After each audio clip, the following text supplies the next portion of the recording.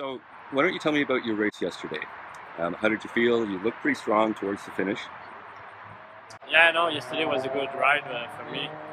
Uh, right from the beginning, I felt uh, I was having a good day, good legs. Uh, so I just take the first half of the course, you know, cruising and uh, speed and get the power where I want to be.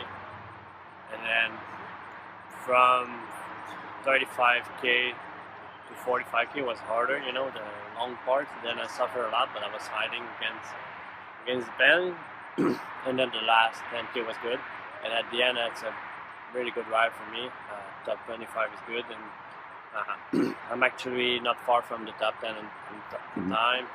So that's pretty good for the future, and uh, it's something uh, to work on it, and that's the base, and then try to improve years after years. And uh, if I look at guys around me, uh, it's pretty good because I gained time years after years on them. So yeah, really happy with my ride, and I think I couldn't do even better than that. Um, did you set up your training program to, to try and peak for these races? Honestly, no. Uh, I have a long season from the beginning. You know, I did the Giro, and then I, I went pretty hard for nationals and Panams, and then I didn't race since a while before Worlds. I did Montreal, Quebec, than here, so I, I couldn't do like a special preparation for time trial, but for sure next year I'm to be more focused on it and train pretty specific for it.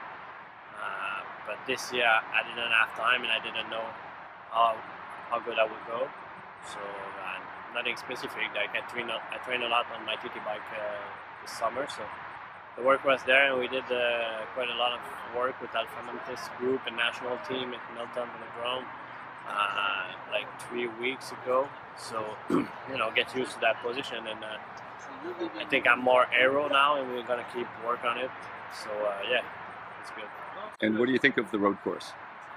I didn't see. I've uh, seen it yet. We're okay. doing it just now today, uh, but for sure it's going to be hard. I saw a couple of the climb there, uh, pretty technical, and uh, after 260k, it's going to be uh, pretty hard. You know, it's long races. Mm-hmm. I think I'm I'm used to it. I'm ready for it. We'll see how I feel after the time call, and uh, hopefully we, we can deliver a good result for Canada. That's the first time uh, we have six guys, so try to uh, do our best with that. Well, good luck on the weekend. Thank you.